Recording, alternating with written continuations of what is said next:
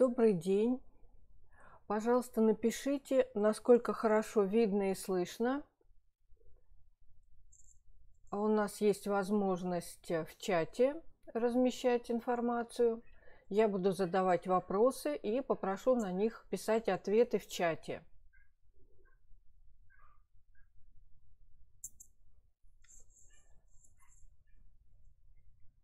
Так. Пожалуйста, напишите плюсики, если все хорошо видно и слышно.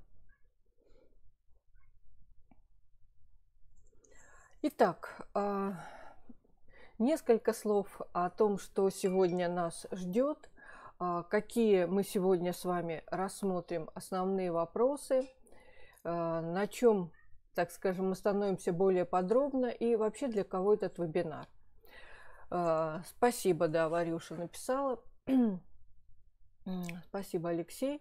И э, этот вебинар в основном предназначен для студентов, э, которые готовятся к тому, чтобы э, пойти куда-то на работу, представить себя в лучшем виде и, конечно, найти ту работу, которая действительно нравится, работу, которая действительно подходит.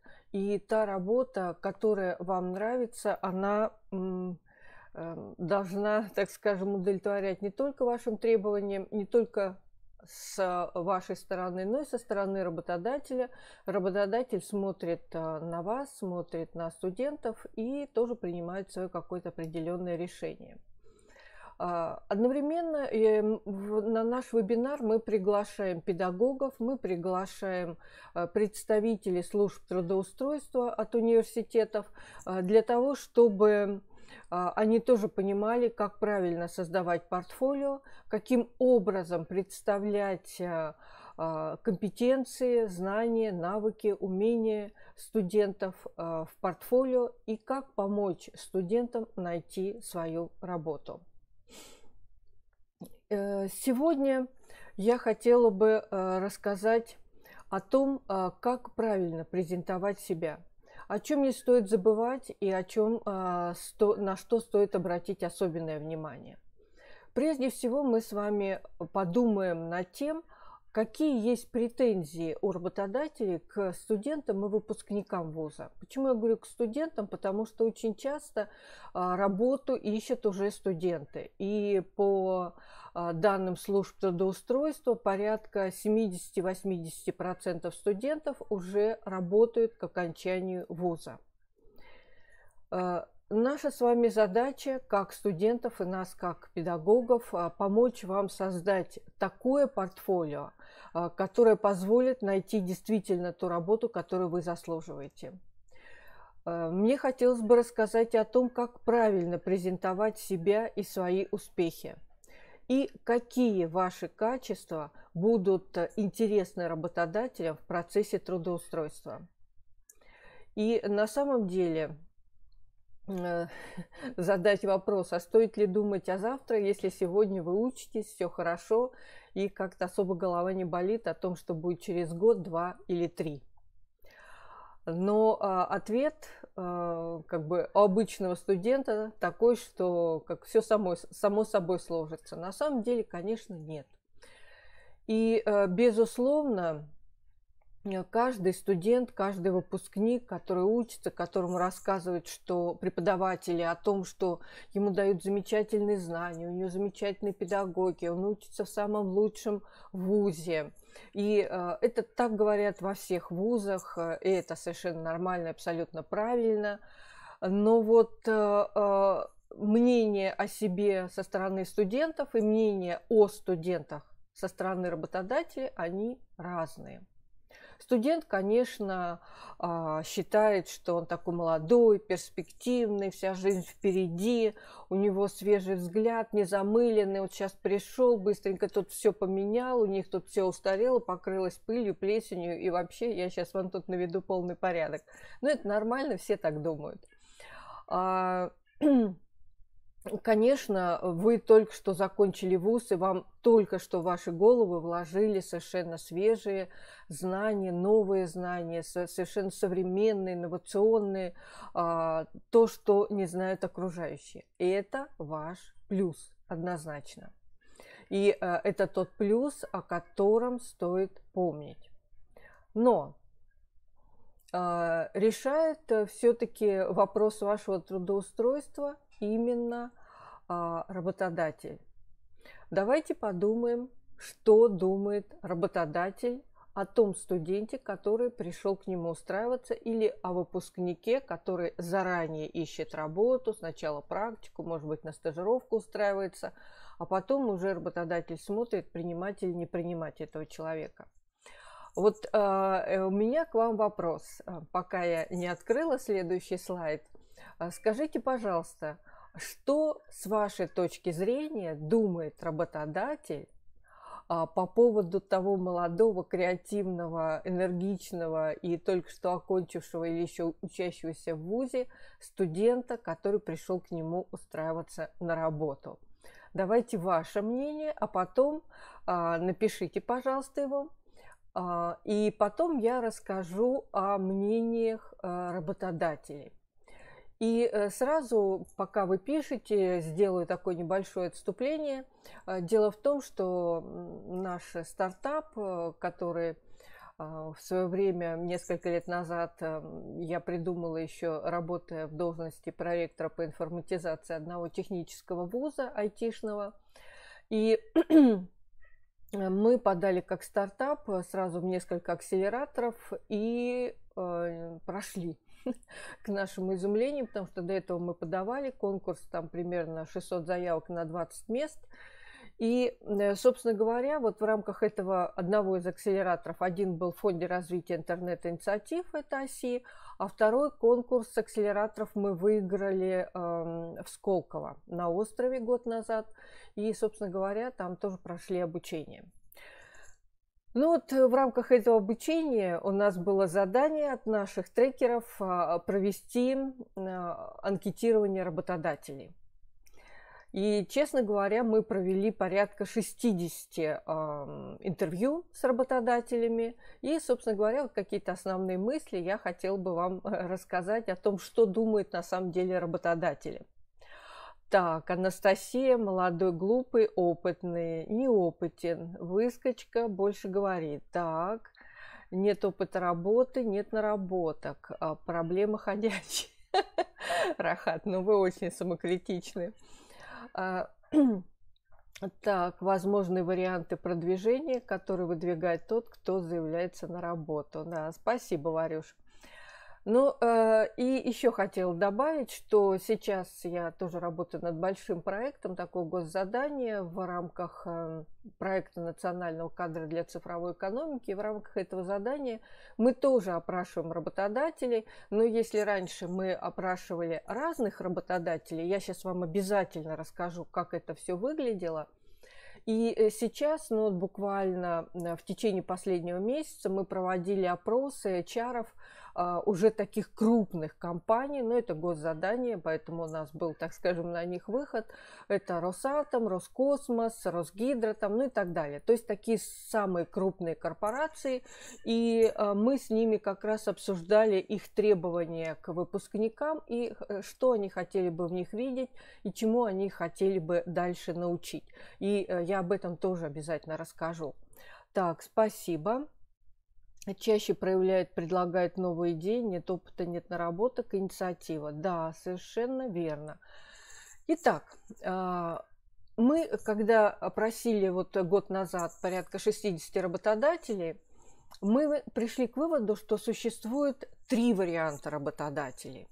И когда вы ищете работу, вы должны четко понимать, куда вы идете, и старайтесь больше расспрашивать работодателя, не только говорить самим. И это, кстати, на это очень хорошо реагирует, потому что видно, что человек заинтересован. Так вот, мы выделили э, три типа. А первый тип э, – это работодатели, как правило, такие крупные айтишные компании. А, они очень требовательны к выпускникам, но именно к их э, уровню интеллекта. И нас просили провести тестирование уровня интеллекта, прежде чем они вообще начнут дальше разговаривать с этим выпускником. Но это крутые IT-компании, которые там сразу предлагают буквально уже э, на, э, в первые месяцы работы, э, пока, так скажем, человек показывает себя, там, как всегда, три месяца такой пробный вариант они принимают, они минимум 100 тысяч, это вот у них как бы минимальная оплата, может быть, после собеседования или, э, так скажем, выпол... Э, после того, как вы выполните их задание, они э, еще могут повысить зарплату. И, кстати, эта вакансия открыта, и они постоянно как бы нас спрашивают, а не найдете ли вы нам еще кого-то. Так что, если есть такие желающие, я в конце сообщу электронный адрес, можно будет написать, мы вам постараемся помочь. Итак, это вот э, работодатели, которые ищут звезд. То есть их остальные вообще не интересуют, и э, им нужны эти звезды, потому что, допустим, вот мы беседовали с одной из крупных айтишных компаний, они говорят, нам не важно, э, что он знает, питон знает, э, э, или он э, веб-дизайнер, или еще что-то. У нас, говорит, много заказов, и нам нужны любые направления. Поэтому мы готовы принять, но мы готовы принять э, только звезд. Это первый вариант. А, второй вариант э, – это те работодатели, это неважно какая, большая, маленькая фирма, но работодатели, которые а, такие, мы их назвали работодатели-родители. То есть те, которые принимают выпускника в свои руки. А, конечно, они стараются беседовать, они стараются взять человека лояльного, который бы хотел именно у них работать. Для этого надо, естественно, заранее посмотреть, куда вы идете и они готовы вас обучать, э, представить вам наставника.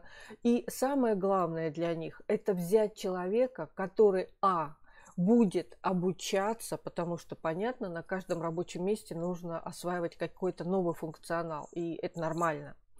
А, с одной стороны, а с другой стороны, человек, который будет эм, любить свою работу. Вот эти работодатели, Э, родители, они, может быть, не так пристрастно смотрят на оценки в вашем дипломе, они больше смотрят на вас. Их интересуют ваши личностные навыки. И третий вид работодателей – это те работодатели, которых интересует какой-то узкий, узкий спектр компетенций. Ну, например, а, Сбербанк набирает постоянно а, молодых ребят, которые на входе в Сбербанк встречают, улыбаются, говорят, здравствуйте, чем вам помочь, давайте мы вас туда проводим, пройдите сюда. То есть такие вот эмоциональные, а, улыбчивые, приятные – и их вообще не интересует, какие у вас там особо оценки, но э, желательно, конечно, иметь высшее образование для того, чтобы хотя бы э, вести разговор и уметь общаться. Э, они не смотрят на ваш опыт, они наоборот стараются брать людей без опыта, и мы назвали вот таких работодателей как бы, ну, такими текучими. То есть сегодня они одних набрали, э, человек побегал, чего-то нахватался, но молодому человеку хочется расти. А там, извините, год ты встречаешь, два улыбаешься, три кого-то проводишь. Ну, на четвертый год человек говорит, так, еще что-нибудь хочу. А молодежь сейчас такая очень активная, хочет каких-то перемен, интересы и так далее. Вот три вида работодателей. И когда вы идете на собеседование, когда вы выбираете себе место работы или получаете предложение, вы подумайте, к какому из э, видов, э, типов работодателей а, вы идете на собеседование. Э, дальше мы с вами давайте посмотрим, что же думает работодатель еще. Так мы, так скажем, более конкретно от них собрали, мы такую большую таблицу сделали и самые такие часто встречающиеся слова выписали.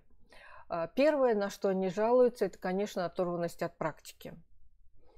Но Извините, вы же не можете быть, так скажем, практикоориентированными на все там 125 тысяч компаний, которые существуют.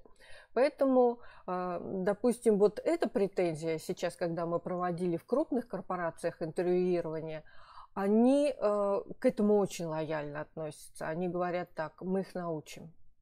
Практика, мы их научим. Э, очень обижает работодатели, особенно вот второго и третьего, да, самых высоких, а, так скажем, а, требований, они говорят, что у многих нет нацеленности на профессиональное развитие. Человек э, не хочет развиваться. Такие люди им не интересны. А, почему? Потому что любой работодатель, когда берет человека, он понимает, что жизнь очень быстро меняется. Сегодня одни требуют, завтра другие, послезавтра третьи. И человек должен все время, как губка, впитывать в себя новые знания. Если у него нет этой нацеленности, а это не сразу проявляется, то, конечно, такие люди ну, не особенно им интересны. А, очень так скажем, трепетно работодатели относятся к дефициту навыков общения. Молодежь, привыкшая общаться в основном в своей среде, ну и максимум с родителями, да, которых там слушают нравоучения от них, а, они не умеют общаться в разновозрастной и профессиональной среде. Это отдельный язык общения, это отдельные а, принципы общения, это соблюдение субординации, это необходимость э, задавать какие-то вопросы и так далее, и так далее. Ну и, конечно, вот правильно совершенно ребята э, тут отметили, очень сильно завышенная самооценка. Э, и зачастую ребята не умеют использовать свои знания которые они получили в ВУЗе, э, в решении практических задач, э, не умеют обращаться с современным оборудованием, которое, допустим, если это производство установлено на производстве, и не всегда знают современное э, программное обеспечение. Вот хочется подчеркнуть, что одним из ваших серьезнейших преимуществ которые нужно обязательно выделять, помимо молодости, инициативности, стремления что-то сделать, доказать, поставить себя, а, это, конечно, а, цифровые навыки. А, вы должны понимать, что цифровые навыки – это ваше серьезнейшее преимущество. Пожалуйста, обращайте на это внимание и демонстрируйте свои цифровые навыки при приеме на работу. Еще какие э, важные претензии? Это, конечно, претензия, связанная с психологической неподготовленностью к реалиям производства или бизнеса. То есть это жесткие дедлайны, регламентация, ответственность. Дали задание, ты обязан помнить о нем, ты обязан выполнять это задание четко, ясно, вопросы подошел, не стесняемся. И, э, э, конечно, претензия в неумении презентовать себя – ну, это как бы нормальное на самом деле явление. Молодой человек, э, ну, это нормально, если он стесняется, если он э, не умеет как-то бойко, так скажем, о себе рассказывать. Но э, работодатели считают, что это недостаток. Поэтому, когда вы устраиваетесь на работу, пожалуйста, такой психологический тренинг, что я иду, я должен показать себя с лучшей стороны, а не такой там трясущийся, вот я к вам пришел, я, наверное, ничего не знаю. Вот так нельзя.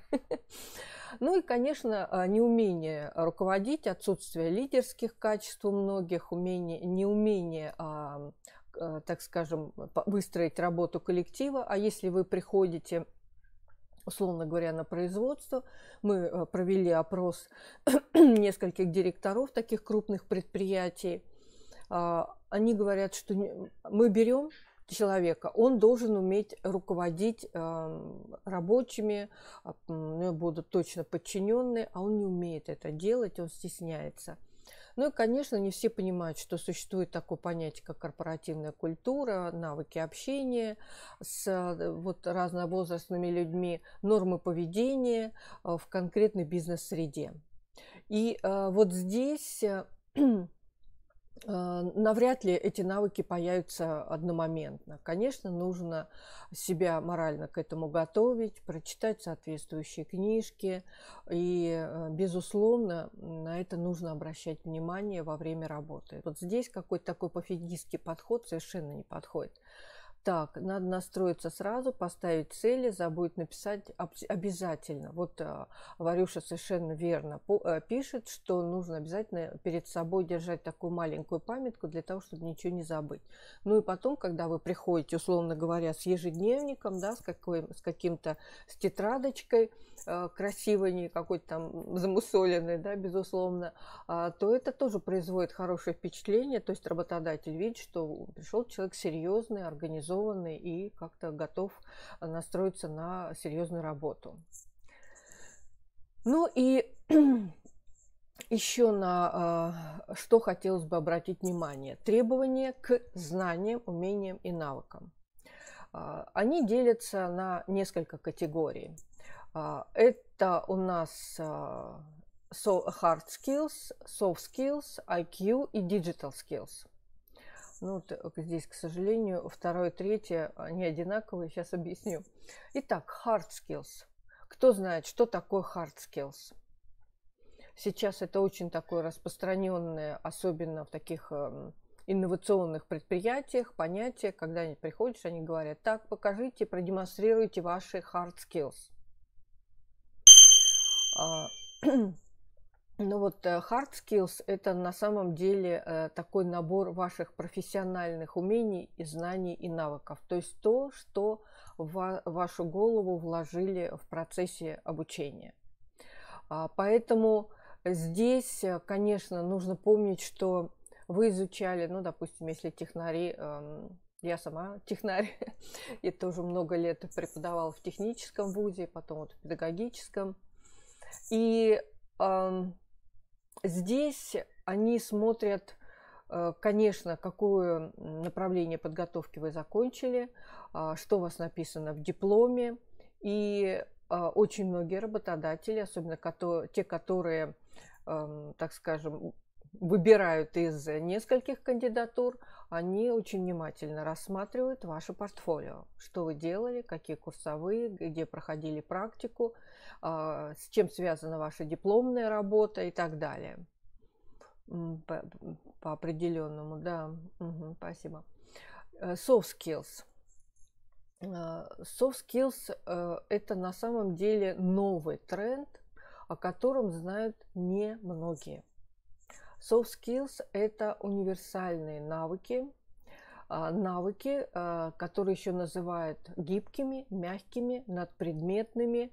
И а, я обязательно сейчас о них расскажу поподробнее что туда включается и как их продемонстрировать, самое главное. IQ, интеллектуальный уровень.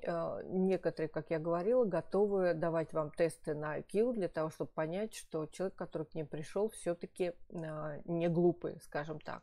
Ну и ваше серьезнейшее преимущество – это digital skills. Дети цифровой эпохи, они по-другому, у них мозги настроены. Вы быстро улавливаете эти программы, вы быстро новые э, мессенджеры осваиваете, э, социальные сети, вы умеете в них общаться. У вас совершенно другой уровень, вы, так скажем, аборигены цифровые, а приходите на работу к цифровым а, иммигрантам, то есть те, которые родились до цифровой эпохи. Э, и это ваше преимущество. Пожалуйста, воспользуйтесь им и обязательно учите а, как следует все те цифровые инструменты и сервисы, которые вам дают в ВУЗе, и старайтесь осваивать дополнительные инструменты, потому что это очень сильно востребовано. Итак, если говорить о том, что сейчас к чему готовятся работодатели, я вам говорила, что я сейчас тоже участвую в большом госзадании вот в рамках кадра для цифровой экономики. Сейчас, а, ну не сейчас, в январе 2020 года появился вот такой вот приказ Министерства а, экономики, Минэкономразвития, и там они выделили такие важные компетенции, которые сейчас начинают, что называется, вдалбливать в головы не только работникам системы образования, но и работодателям. Это коммуникация и кооперация в цифровой среде, а, саморазвитие в условиях неопределенности. Вот это супер важное качество, на которое многие обращают внимание. Это креативное мышление, то есть умение мыслить не стандарта нестандартно, генерировать новые идеи, отойти от э, рутины, от традиций, посмотреть сверху и предложить то решение, о котором никто, кроме вас, и не смог бы догадаться. Это умение управлять информацией и данными, э, искать информацию, э, структурировать ее, представлять в нужном виде, понимать о том, что существует эм, специальные законы о защите персональных данных, а, умение безопасно использовать информацию, отправлять ее, хранить ее, как-то генерировать и так далее. Ну и, конечно, критическое мышление в цифровой среде, потому что в этом огромном потоке информации, в этом белом шуме нужно уметь выбрать те материалы, э, те данные, а, ту информацию, которая а, действительно вам потребуется, а не собирать все подряд, э, что, как говорится, попалось в поиске. Вот здесь действительно а, вот эти навыки, они очень важны, и они сейчас все больше и больше востребованы.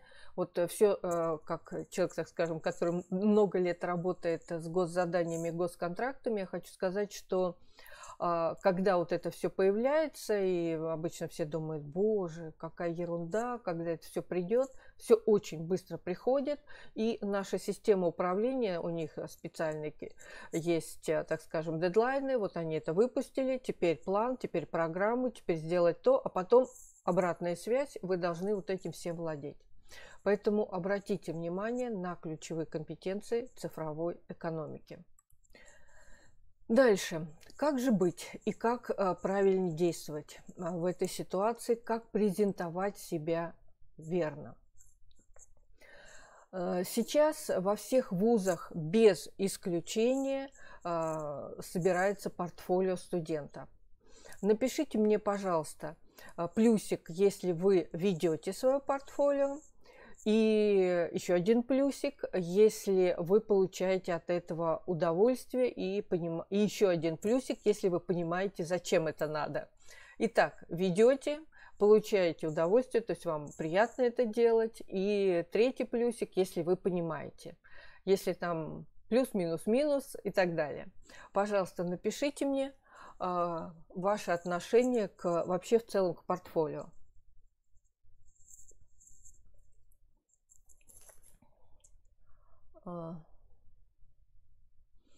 Так, Диана, да, спасибо.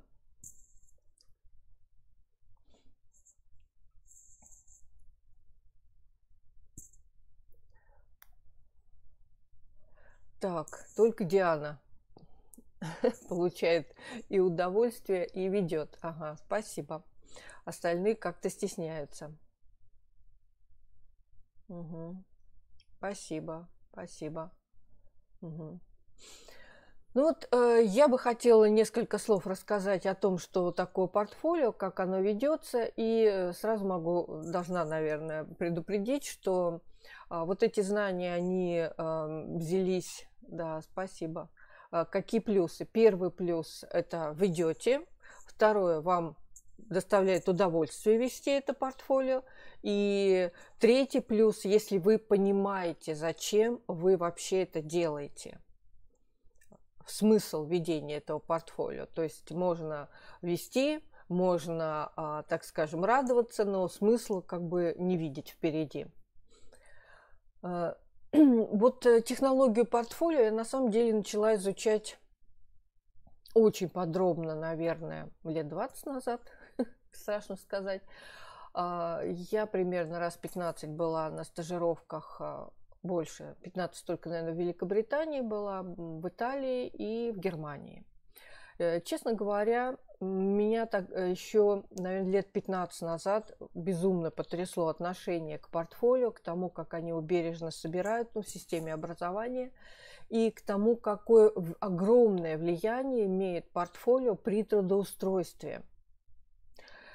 И мы начали изучать этот вопрос. У меня был грант э, Российского гуманитарного научного фонда. Как раз мы а, изучали отечественный, зарубежный опыт, э, а, практику, теорию, методику. И как раз это касалось портфолио студента и портфолио преподавателя. Эм, много зарубежного опыта, конечно, у меня есть, у меня есть целая монография по этому поводу. И э, сразу хочу сказать, что э, за рубежом они все-таки всегда идут немножко впереди. А, интерес к портфолио очень высокий. Там есть огромное количество порталов, на которых ведется портфолио порталов, которые используются при трудоустройстве, а, при э, карьерном профессиональном росте. И э, я немножко об этом а, буду говорить, дам вам примеры некоторые, потому что их очень много. Мы действительно много изучали. Я сама лично ходила, э, разговаривала с разработчиками некоторых платформ. Ну, э, была возможность, вот в Лондоне проходит ежегодная выставка, BET называется, это посвященная информационным технологиям в образовании. Там, собственно говоря, представляли такие инструменты, я это видела. И э, в какой-то момент, как раз когда я работала проректором по информатизации, э, я пришла к выводу, что это нужно обязательно внедрить в нашем айтишном вузе. Э, обошла много айтишных компаний, люди как-то на меня с таким, мягко говоря, изумлением смотрели, спрашивали, а что это, а зачем это, ну, пока мы подумаем. Ну, в общем, в итоге мы сделали сами свой портал, я о нем чуть позже расскажу, но я бы хотела рассказать о всех порталах, чтобы у вас было представление, возможность выбора. Итак, а, Портфолио – это возможность систематизировать информацию о себе, своих успехах, достижениях а, и, а, если это педагоги, то достижениях своих учеников. Затем необходимо выбрать инструмент для размещения портфолио. Если вас устраивает тот инструмент, который предлагается в вашем ВУЗе, и он позволит вам вести портфолио потом всю оставшуюся жизнь, а, ну, 99 случаев, когда э, в ВУЗах э, закрывают портфолио после окончания, поэтому нужно озаботиться о выборе того портала, который не закроется. Затем нужно подумать, э, а в каком формате вы будете представлять данные. Фото, видео, анимации, презентации, видео резюме, а, видео презентации себя, своих успехов. И, конечно, нужно уметь делать акцент на преимуществах. Но прежде чем сделать акцент на преимуществах, нужно посмотреть, куда вы хотите устроиться, что вас, вам интересно. И, соответственно, в зависимости от этого э, собрать информацию о себе. Дальше. А, необходимо продумать план продвижения себя и своего бренда. Ни, ни для кого не секрет, я думаю, для вас тоже, о том, что все без исключения работодатели при приеме вас на работу мониторят социальные сети. А, научитесь использовать возможности социальных сетей для создания своего позитивного бренда. Э, не размещайте там фотографии с пивом, с бокалом вина в руке, ну и какие-то такие дурачества, которые нормальны для студента, еще раз подчеркну, абсолютно нормальны, но которые работодателями все равно будут восприниматься крайне негативно. Ну и, конечно, э, план продвижения бренда в офлайн может быть э, участие в каких-то мероприятиях, конференциях, круглых столах, а, онлайн-семинарах или живых семинарах. Я думаю, когда-нибудь они все-таки будут. Поэтому здесь тоже подумайте, где бы вы могли побывать, чтобы там представить себя, а, вступить в дискуссию и, может быть, найти того работодателя, которого вы лично заинтересуете. Итак, по пунктам. А, что такое портфолио? А, если говорить в целом по определению, это в переводе с английского папка с документами. На самом деле понятие существует уже много веков, и, наверное, начало было где-то в эпоху Возрождения, когда в Италии мастера, там всевозможные архитекторы, дизайнеры приходили в богатые дома, приносили с собой папочки, в которых было а, написано и расписано, что они сделали до этого. Сейчас, как правило, портфолио – это все-таки такой способ накопления э, самых разных достижений ваших. Образовательных, профессиональных, личностных, творческих, спортивных и так далее. И здесь важно понять, как собрать эти достижения, чтобы выглядеть в самом лучшем виде перед работодателями. Итак, давайте подумаем, в чем отличие между обычным резюме и портфолио. особенно веб-портфолио, то есть то портфолио, которое расположено на веб-ресурсе, и это тот ресурс, к которому есть доступ у любого работодателя в любое время э, с компьютера, с телефона.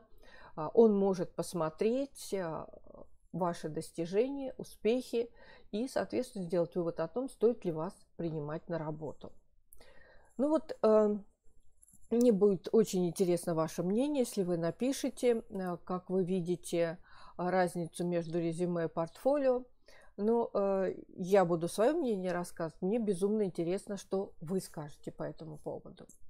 Но вот на самом деле, э, когда мы стали анализировать э, резюме студентов на HeadHunter и, собственно говоря, читать аналитику HeadHunter и других там SuperJob, Работа.ру, э, Первое, что бросается в глаза, это то, что студенты, как правило, стараются не размещать свое резюме на HeadHunter и других э, сервисах для поиска работы.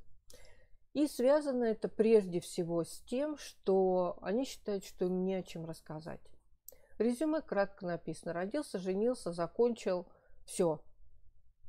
Если нигде не работал, то все пустое. И, собственно говоря, работодатель посмотрел, ну да, родился, женился, закончил. И а, и поэтому, собственно говоря, Министерство образования в 2014 году приняло решение о том, что все студенты должны вести цифровое портфолио. Э, по типу самооценки. Ну, такой, да, очень краткое. Да, там есть умею то-то, готов к тому-то. Да, да, но очень кратко. И э, мы, когда разговаривали с работодателями, мы пытались понять вообще, вот э, как это все у них происходит, э, такие крупные фирмы, мы пришли вообще, честно говоря, в ужас от того, как они бедные ищут студентов. Первый работодатель, у а, которого были очень высокие требования, и а, когда мы начали интервью, он сказ... мы спросили, а вы берете студентов на работу? Он говорит, нет, ни за что на свете. А, мы оторопели, думаем, ну как-то нам хочется дальше узнать. Мы говорим, да, правильно Лина пишет. Мы говорим, ну как же так? Он говорит, ну что ж я буду брать кота в мешке, я не знаю, кого я беру. Я уж лучше возьму с каким-то опытом. Мы говорим, а если вы не кота в мешке вот берете, если а, вы узнаете что-то об этом человеке, вот что бы вы хотели узнать о нем? И тут очень многие задумались, а, а действительно, а что бы он хотел узнать? И а, он говорит, э, да, ну, задумался, мы, естественно, там подготовили список, э, говорим, ну вот, может быть, вас интересует выписка из диплома? Он говорит, ну нет, практически. А, направление, которое он закончил, э, да, интересует. Понятно, что если он берет э, айтишника, администратора портала, то э, человека с дипломом медсестры, как-то, мягко говоря, он, конечно, брать не будет. Ну и дальше он начинает нам рассказывать, что он делает. Это вообще ужас ужасный. Он говорит, мы обычно, а, наш HR для того, чтобы закрыть одно место, просматривает минимум 100 резюме на работных сайтах минимум 100. Представляете, какой-то гигантский труд. Из этих 100 остаются человек 20-30, которым мы пишем и задаем вопросы. Из них отвечают на вопросы и вообще отвечают максимум 7-8 человек. Затем из 7-8 мы, значит, их на онлайн-собеседование задаем вопросы. Остается максимум 3 человека из 100. 3. И э, одного или трех человек мы берем на испытательный срок на три месяца и через три месяца решаем, оставляем мы его или нет. Итого месяц они этих 100 э, анкет изучают, затем э, три месяца испытательный срок, через четыре месяца они говорят, не, не подходит нам этот человек, и мы мочал, начиная сначала. Ну, то есть, на самом деле, вот вы просто тоже должны понимать, что работодатель находится в очень неприятной ситуации. Да. Да, вот правильно Диана пишет, Техин. Угу. Итак, значит, веб-портфолио – это ваша цифровая визитная карточка. хранилище ваших цифровых следов и артефактов. Артефакты – это все, что вы сделали. Это курсовые работы, дипломные, может быть, удачные контрольные работы. Это э, результаты прохождения вами практики где-то. Это возможность самопрезентации и саморекламы, если вы размещаете эту информацию в социальных сетях, сервисах, вы можете рассылать работодателям э, ссылки на ваше портфолио. И это, конечно, доказательство и профессионального уровня, и личностных качеств, и подтверждение ряда ваших компетенций, в том числе цифровых компетенций. А, поэтому сейчас, собственно говоря, большая часть вузов переходит вот э, к этому понятию, но пока еще не все вузы перешли. Итак, в ВУЗе вы ведете, это ваша тоже карточка, это систематизация информации о вас, это возможность оценить ваши а, работы, достижения. А, еще один очень важный момент, ну вот как-то мало о нем думают, вот в зарубежной практике, так как мы перечитали очень много всяких эм, э, статей и монографий, а, конечно, портфолио – это возможность для самооценки, так называемой рефлексии. Еще есть такое страшное слово, не пугайтесь, оно на самом деле очень простое. А, помимо рефлексии еще есть такое слово, как антиципация психологии. Ну, это еще проще, чем рефлексия. Рефлексия – это самооценка, антиципация – это построение планов на будущее, исходя из самооценки. Вот сейчас у меня есть то, то, то и то, я умею. Я понимаю, что у меня не хватает того, того, того и того. Вот когда я начинаю думать о том, чего не хватает, это уже называется таким вот смешным словом антиципация. Итак, это, конечно, мотивация, когда вы посмотрели, у этого есть, у этого есть, а у меня нет, дай-ка я это тоже сделаю. Это такой стимул для развития. Ну и после окончания вуза ваше портфолио, которое вы аккуратно собирали, складировали, собрали там, условно говоря, огромное количество э, информации – это тоже ваша карточка, это самопрезентация, доказательство уровня, это тоже стимул к развитию самореализации. И это, конечно, возможность для трудоустройства и уже пошло дальше а, профессионального карьерного роста. Сейчас, когда в вузах, а, выпускники вузов уже фактически два года все до одного выходят с портфолио, ну там разное качество портфолио, конечно, в разных вузах, но безусловно, вот это понятие портфолио, оно становится очень важным и входит уже в профессиональную жизнь не только педагогов, потому что педагогов сейчас обязательно практически все ведут портфолио, но и э, не только творческих специальностей, IT-специалисты ведут портфолио. Вообще фактически все сейчас начинают об этом задумываться, потому что рынок труда требует самопрезентации, очень выборочный, очень ревниво относятся к вашим а, знаниям, умениям, навыкам, поэтому после окончания вуза портфолио тоже стоит вести. Итак, выбор платформы. Платформа для ведения портфолио должна позволять искать работу, а, если а, вы учитесь и дальше продолжаете учиться, значит, там на ней можно, чтобы было а, обучаться, взаимодействовать и тут же результаты все собирать. Вести, конечно, портфолио, само собой. И, безусловно, это новый способ для самопрезентации, саморекламы. Итак, какие платформы можно выбрать? Существует несколько вариантов. Честно вам скажу, мы провели анализ несколько десятков платформ, но э, я здесь представил такие самые интересные. Но вот из зарубежных это э, вот эти англоязычные платформы, особенно э, Behance, что здесь еще? Дрибли, очень востребованная платформа.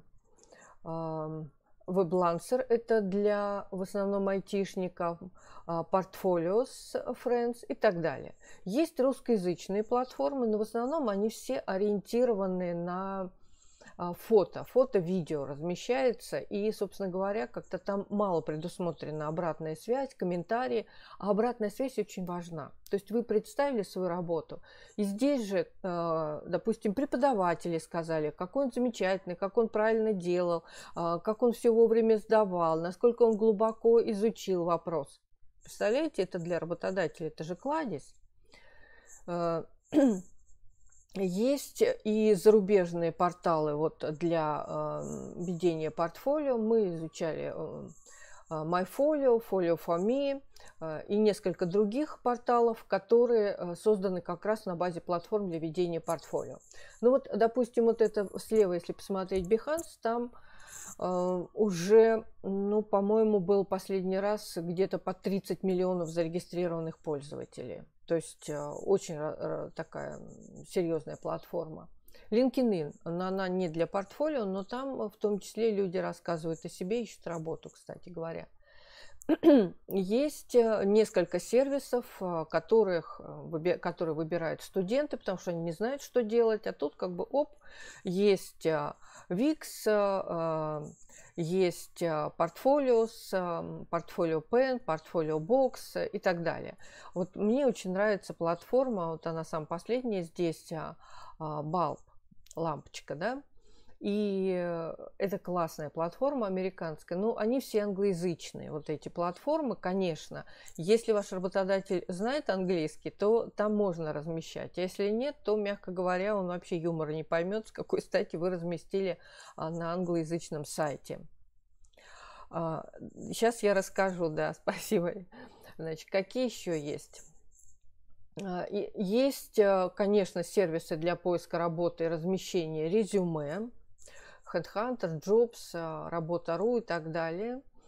Ну и, конечно, есть несколько сервисов для поиска молодых специалистов, в том числе на HeadHunter там есть немножко, но там, а, когда вот мы стали, так скажем, работать в этом направлении, ну, не знаю, насколько это точные сведения, нам сказали, что на HeadHunter порядка 30 тысяч только резюме студентов.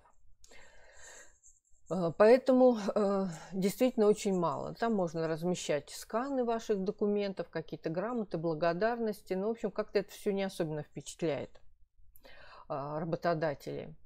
Ну и вот сервисы для поиска работы и поддержки выпускников есть несколько.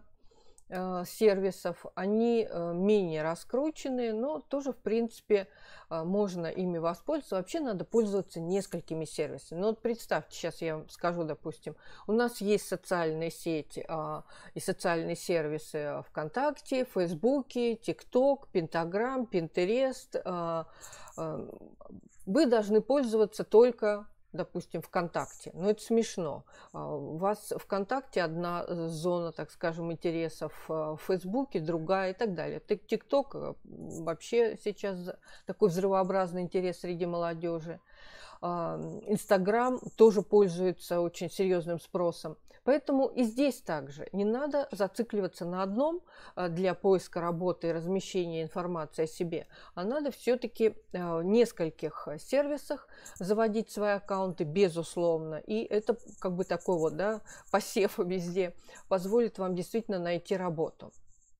Ну и вот э, я хотела рассказать о том сервисе, который мы придумали с коллегами э, после того, как провели такой очень серьезный анализ отечественных, зарубежных сервисов. И мы придумали портал. Это бесплатная опция для всех студентов, для преподавателей. Это портал 4portfolio.ru. И вы там можете вести э, портфолио и свое, и ваши педагоги там могут зарегистрировать. Самое главное, что они могут вам написать комментарии и отзывы о том, что вы сделали. И здесь же можно дистанционно обучаться, общаться и сразу же складывать результаты вашей деятельности. Вот что впечатляет работодателя? Э, как я вам говорила, работодатели э, три типа да, существует, которым звезды-звезды, а, работодатели родители и работодатели просто ну, такие проходные. Сегодня один, завтра второй, они вообще не держатся за людей, но зато выбирают таких общительных, креативных, и э, это на самом деле такая работа, ну, можно я так выражусь, для поддержания штанов, что называется, э, устроился, а потом всегда человек думает так, а карьерный рост, а профессиональный, куда мне дальше идти. И э, вот здесь уже, когда вы пошли на какую-то более серьезную работу, здесь требуются и ваши знания, безусловно, профессиональные, и ваши uh, soft skills, ваши мягкие навыки. И вот когда мы столкнулись с этими мягкими навыками, а, я как раз, э, мы учились в Сколково, учились во Фри, и, собственно говоря, я начала обращаться к своим коллегам, таким очень известным психологам, которые как раз занимаются изучением а, soft skills, ну, в том числе вот в высшей школе экономики есть несколько коллег, которые разрабатывают диагностику скиллов. Ну и, в общем, э, сколько бы мы там не искали более-менее приличные, на самом деле нам не удалось найти хорошую диагностику, э, за исключением диагностики, которую сделали зарубежные коллеги и коллеги из э, Южного федерального университета. В итоге мы сделали специальную программу для диагностики soft skills, для того, чтобы человек, во-первых, сам понял, на каком уровне он находится. Потому что ну, нам самим тяжело, согласитесь, а, понять, вот э, есть у меня лидерские качества или нет. Но ну, я, допустим, вот знаю о своих лидерских качествах, потому что много лет руководил там и кафедрой и так далее. А человек, который только выходит в жизнь, он думает, а вдруг у меня их нет, а вдруг они где-то вот живут во мне там внутри и никак не выпрыгнут, а, вот как это понять? А эмоциональный интеллект, креативность, а, а, умение мыслить нестандартно, умение решать комплекс проблем и так далее, и так далее. Вы же сами не знаете, есть у вас они или нет. Поэтому мы сделали диагностику, она тоже бесплатная абсолютно. Мы нашли коллег, и сейчас вот у нас такая так скажем, такой коллектив, группа ученых собралась. Мы сейчас э, а, анализируем все то, что мы сделали, те результаты по soft skills, которые мы получили. И на самом деле это очень интересно, и мы показываем работодателям. Так вот, работодатели сказали, что нас больше интересует soft skills, чем hard skills. Вот если мы видим, что у человека вот эти личностные навыки на очень высоком уровне – мы его возьмем быстрее, чем отличника с красным дипломом. Пожалуйста, обратите на это внимание. Да, отличником тоже замечательно быть, но если человек абсолютно не обладает, эм, ну, я не знаю, там, клиентоориентированностью, эмоциональным интеллектом, умением работать в команде, умением адаптироваться к требованиям работодателя и так далее, и так далее, если у него нет этих навыков, то, э, собственно говоря, зачем работодателю эти пятерки? Поэтому э, мы предлагаем пройти диагностику, посмотреть, чего не хватает, и работать в этом направлении. Мало того, сейчас вот у нас как раз э, идет очень интересная работа с издательством Альбина Паблишер – они, собственно говоря, увидели нашу диагностику и сказали, а можно мы тоже у себя на сайте сделаем такую диагностику. Мы говорим, конечно, делайте, кто же против. Вот мы сейчас с ними, ну, мы немножко другие делаем для них вопросы, чтобы немного отличались. И они будут предлагать эм, свои э, какие-то пособия, книги, э, свои издания, которые помогают э, развивать те или иные скиллы. Часть из этих пособий а, будут размещены у нас на портале бесплатно, в открытом доступе. Такие у нас условия договора. Мы говорим, хорошо, мы для вас сделаем, мы продублируем а, те наработки, которые мы сделали, но вы, пожалуйста, помогите нашим студентам, которые ведут э, портфолио на портале. Э, сейчас это порядка 130 тысяч студентов на портале. И, конечно, этим студентам, безусловно, нужна помощь для того, чтобы правильно представить себя работодателем. Ну и на портале можно зарегистрироваться всем желающим в качестве пользователя, в качестве образовательной организации. И сейчас у нас идет э, тестирование новой опции работодатели, то есть на портале появятся работодатели. Они будут не только размещать объявления, они будут искать себе сотрудников по специальной анкете, в которой собирать вы, вы будете лично своими руками самые э, наглядные, самые качественные страницы портфолио.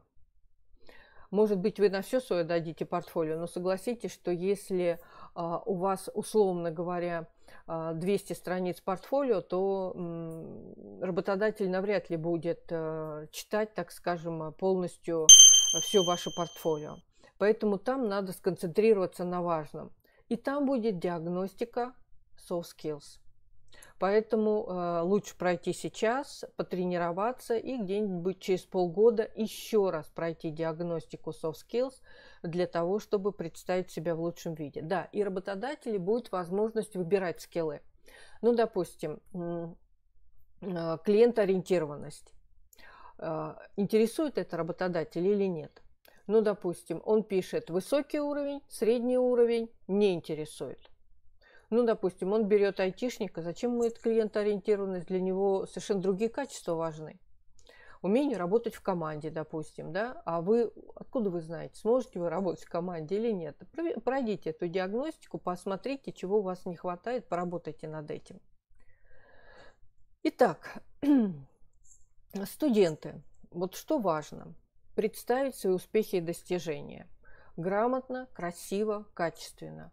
Текст, фото, видео, инфографика, так, чтобы человек открыл, работодатель или HR, и видит, что угу, не просто там на белом фоне какой-то непонятный текст, а человек действительно старался, а, рассказывал о себе, собирал. Вот тут отзывы, вот тут рецензии на его работу. Конечно, мы всем рекомендуем проходить диагностику soft skills а, с двух точек зрения, для себя любимого и, конечно, для работодателя – там же есть подробные пояснения, рекомендации. Э, сейчас мы работаем еще с одним порталом, который занимается как раз эм, формированием soft skills. Можно будет, э, мы будем размещать везде рекомендации на их портал, э, как партнеры, там еще несколько порталов есть. Мы будем вам рекомендовать, что вот здесь есть маленький курс, там на неделю, тут на месяц, там на три, допустим, да. Пройдите этот курс, подтяните этот скилл. А, вам нужно будет заполнить онлайн-анкету для поиска работы. Там, как я сказала, ссылки на портфолио э, с рекомендациями э, преподавателей, с отзывами. Ну и, конечно, есть возможность изучать объявления работодателей и подавать им заявки, открывать им свой, свою такую анкету. Итак, самопрезентация, коллекция работ, форма непрерывной оценки самооценки – сервис для получения помощи, консультаций, подсказки от педагогов, личное постоянное присутствие в интернет и онлайн взаимодействие с друзьями, работодателями, коллегами, с теми, кто, а, от кого а, вы можете получить какую-то полезную информацию для себя любимого и для своей будущей работы. Итак, если подключается ваша образовательная организация, то вам передается управление, поддержка, полностью это решение там буквально за час подключается, портал, на котором можно обучаться и, конечно, портал для трудоустройства. Поэтому э, образовательные организации у нас сейчас около 200, но это вузы и техникумы в основном, э, есть школы. Э, дальше. То, что касается работодателей и HR-агентств. Это мы будем настаивать на том, чтобы они предлагали вам стажировки, практики, чтобы они организовывали виртуальные кафедры на портале, есть там такая опция, искали вас, ваши работы, подтвержденные навыки, диагностику soft skills – ну, конечно, чтобы они экономили время, как я вам уже сказала, да, 100 анкет просмотреть, это задача не для слабонервных. Поэтому э, старайтесь сделать так, чтобы вас заметили.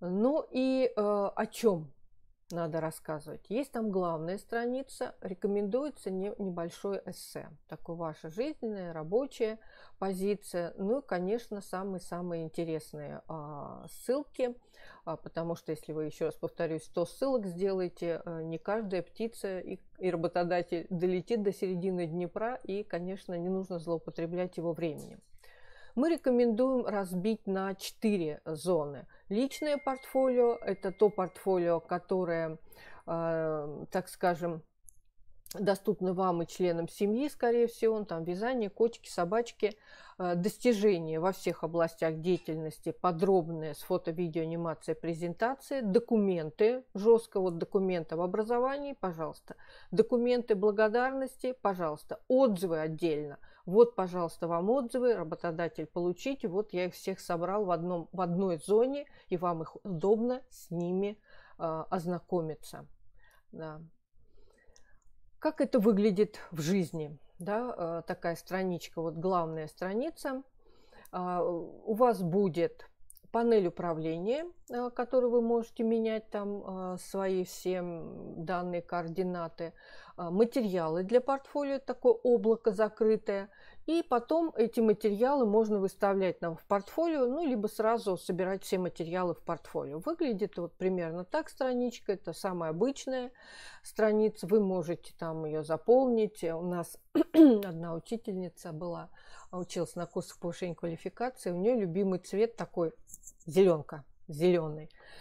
И она свое портфолио все залила таким зеленым цветом и еще таким мигающими а, у нас э, пришла новый менеджер, она говорит, Слава Валерьевна, запретите людям зеленым цветом. Я говорю, она зеленым, вам не нравится. А другой скажет, вот, это тот человек, которого я искал, все зеленое. И они найдут друг друга, понимаете?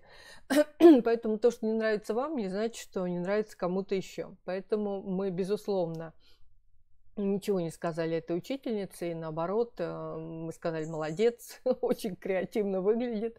Хотя я, допустим, тоже небольшой любитель мигающего зеленого. Значит, э, в портфолио можно собирать э, разделы, а можно собирать страницы.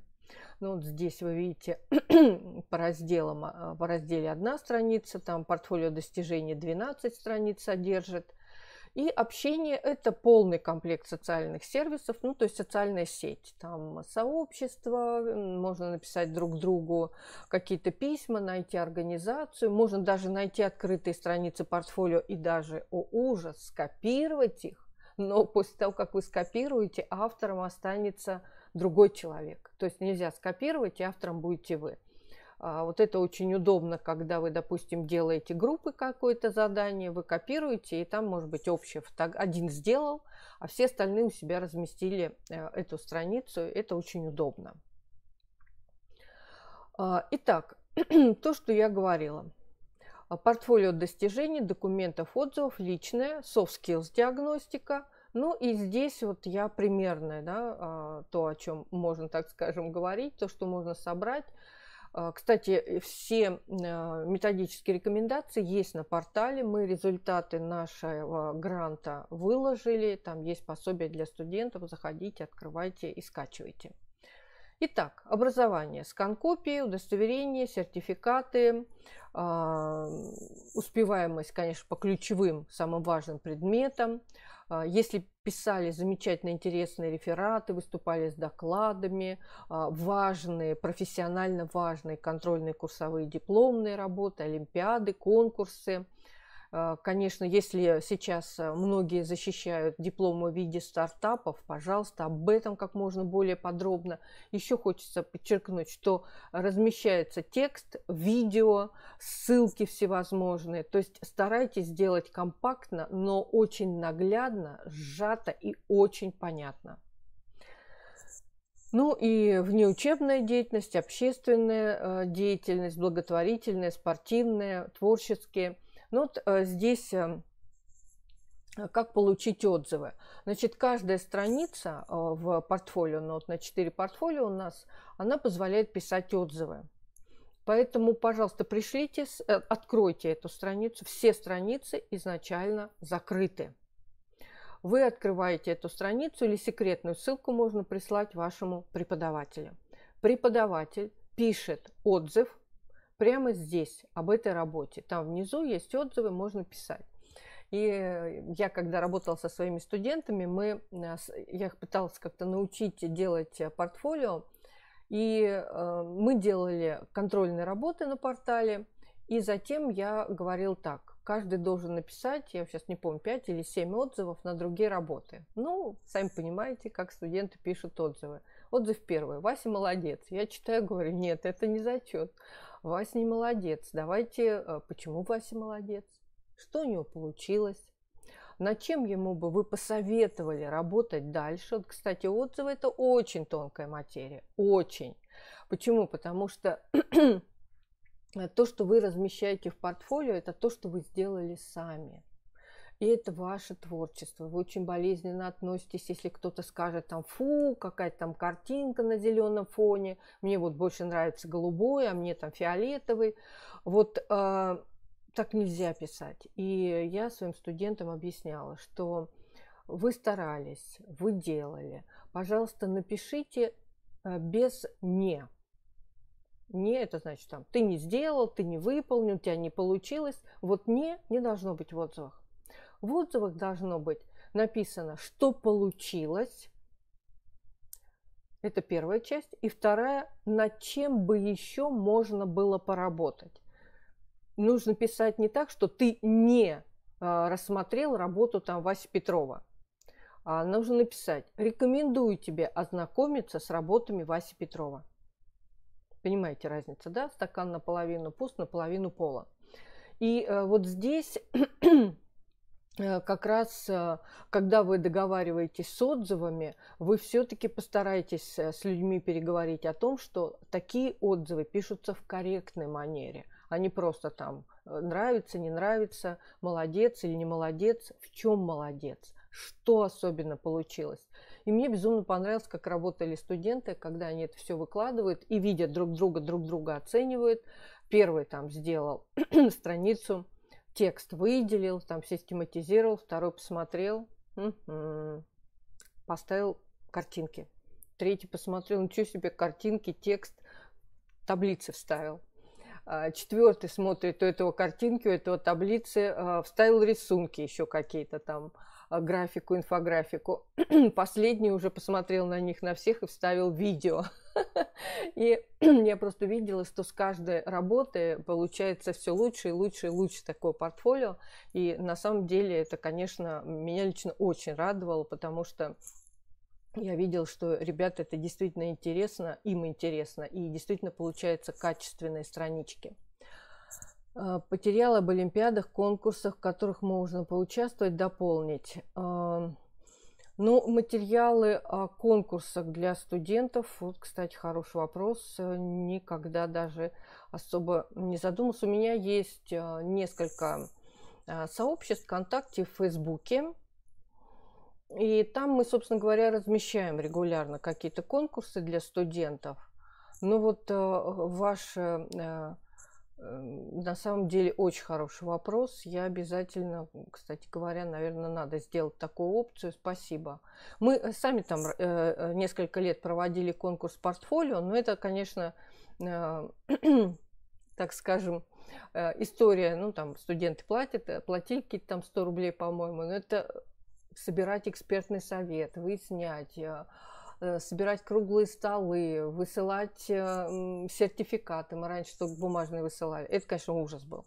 Вот. Сейчас мы эм, ну, не проводим. Я надеюсь, когда-нибудь это организуем, но на самом деле очень долго и, так скажем, прямо достаточно муторно это делать. Но вот насчет конкурсов и олимпиад, спасибо за подсказку. Я думаю, мы сделаем, наверное, такую опцию. Это действительно важно. Спасибо.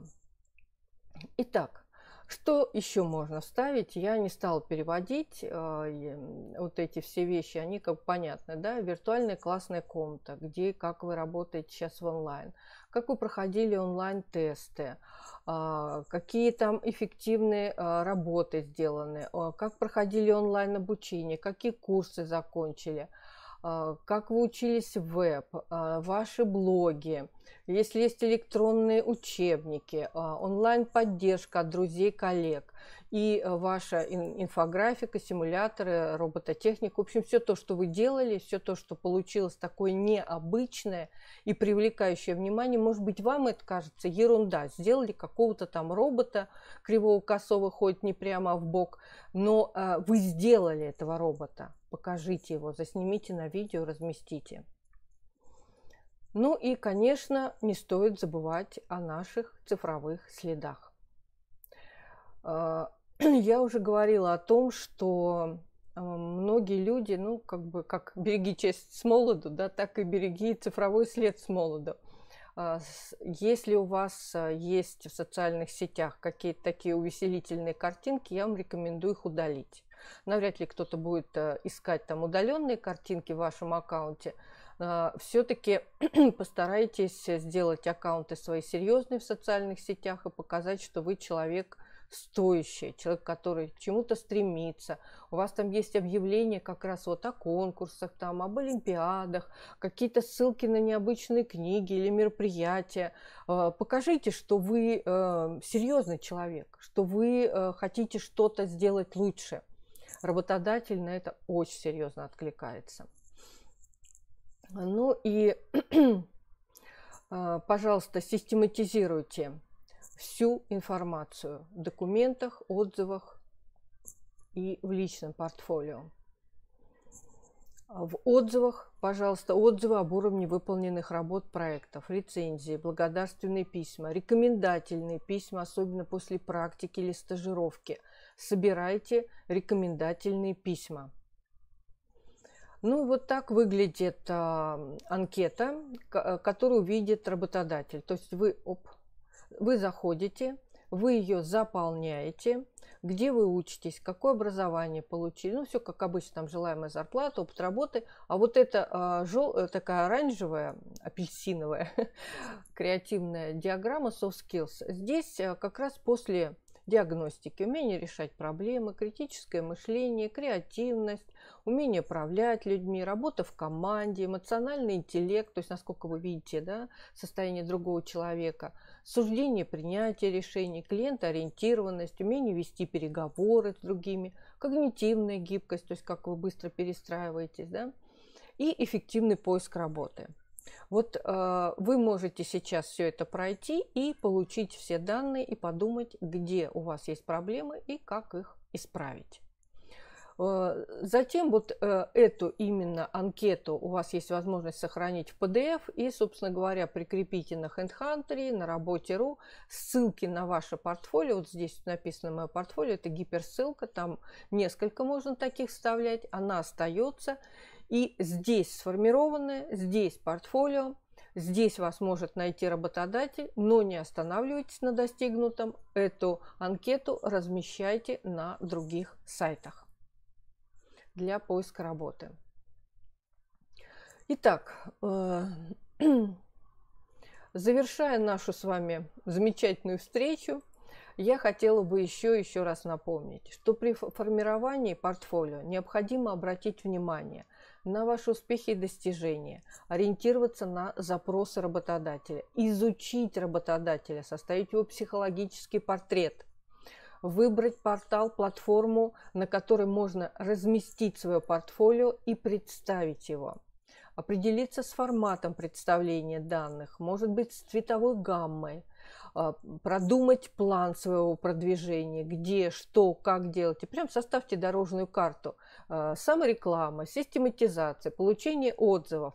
Распишите все это. Это в голове поможет выстроить все правильно. Это ваша судьба, это ваша работа. Ну и, конечно, разработать план продвижения себя, своего бренда в офлайн на семинарах, на встречах, на каких-то конференциях, конгрессах и так далее.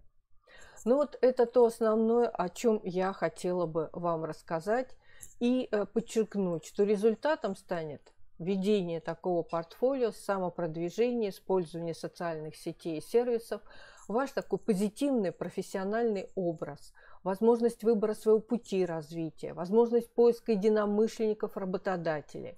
Это профессиональное и личностное развитие, умение найти а, белые пятна, проблемные зоны у самих себя. И это, конечно, возможность найти а, работу для своей мечты. Ну вот это коротко о преимуществах цифрового портфолио для студентов, которые хотели бы найти ту работу, которую они действительно заслуживают. Я всех благодарю за внимание. Здесь а, а есть мой адрес, а, ID на лидер ID. А, у нас там сейчас а, несколько проектов, мы участвуем и в НТИ, и сейчас там а, много всего нового начинает оси развивать. Можно меня там найти по QR-коду. И, собственно говоря, мой адрес, если у вас есть вопросы, пожалуйста, пишите. А, я всех благодарю за внимание и готова ответить сейчас на ваши вопросы.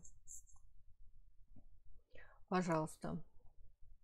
Спасибо, Галина, спасибо. А, итак, уважаемые студенты, у меня к вам тогда вопрос. Прояснилась ли у вас ситуация с портфолио и захотелось ли вам сделать такое портфолио, которое ну, действительно привлекло бы работодателей? Да. Спасибо. Ну, э, со своей стороны, я, конечно, буду очень благодарна, если вы будете использовать наш портал.